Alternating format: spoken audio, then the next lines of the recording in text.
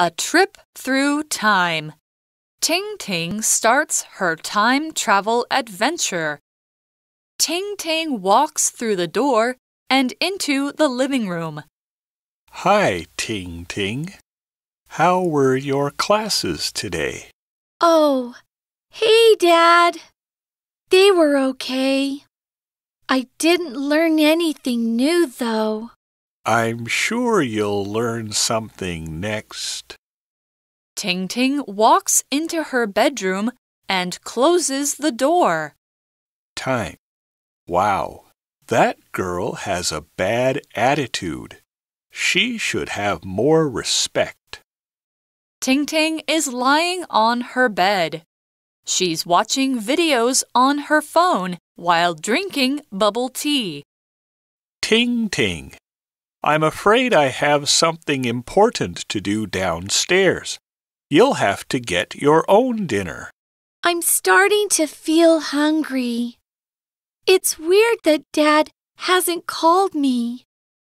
Ting Ting goes into the kitchen to find some food. Dad? Dad? Where are you? This is so strange. Ting Ting goes down into the basement to look for her dad. Some things are broken on the floor, and the place looks a mess.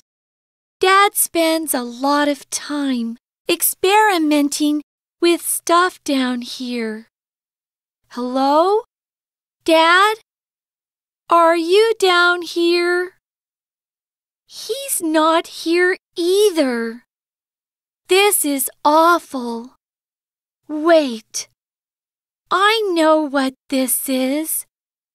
Dad was making two time machines. Ting Ting picks up a plan for two time machines. Where's the other one? I think he used it. Ting Ting picks up the remaining time machine. I have to locate Dad. I'm worried. He might need my help. Let's see. Which buttons do I press? Ting Ting sees a note on the wall. It has step by step instructions. It seems that all I need to do is press this big red button here. Hmm. Nothing happened. Stupid thing. Ting Ting bangs the time machine against the table. Bang! Ting Ting disappears in a cloud of smoke.